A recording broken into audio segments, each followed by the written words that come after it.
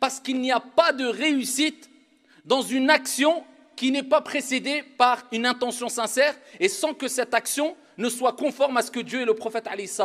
attendent de toi. C'est pour ça, quelque part, on peut appeler l'intention sincère, comme disent les savants, ou bien le secret de la réussite. Parce que si tu n'es pas sincère, et même au-delà d'un côté religieux, d'un point de vue religieux, si tu n'es pas sincère envers les gens,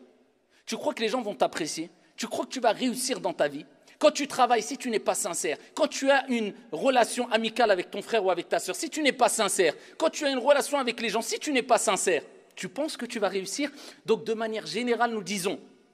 que la sincérité, être véridique, être vrai, faire les choses de manière vraie, c'est la clé, c'est le secret de la réussite.